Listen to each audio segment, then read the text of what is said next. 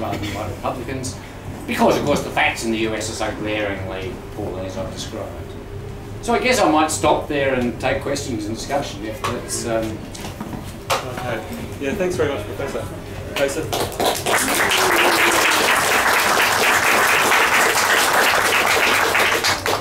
There are a couple of stools here. People out there want to want to um, sit down. Want to grab if you uh, want a stool. Okay. Um, so, did anybody have um, uh, questions or comments that they'd like? Yeah, gentleman right up there. Back. Yeah, how much influence does the Bank of International Settlements have on the uh, financial system of the world? Uh, good question. I mean, I mean, actually, as I mean,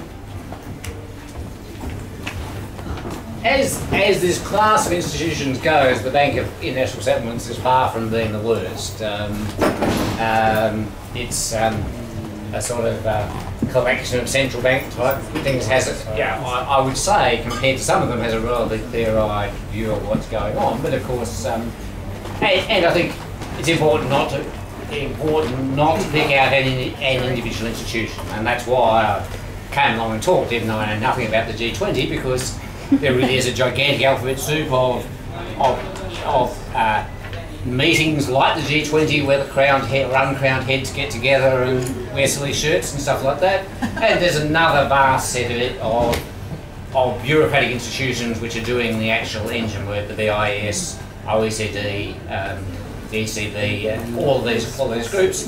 You know, if you're really into it, you can pick out, you know, for example, that the IMF, which used to be the absolute bogey, is actually now way to the left, for example, of the European Central Bank. So I mean, I mean, if you're if you really want to follow the internal politics, there, there certainly is some, but uh, the BIS is certainly an important institution in this whole process. But I, I guess unless you want to get right into the nitty gritty it's better to, to, I think, look at the ideological big picture which they all broadly share.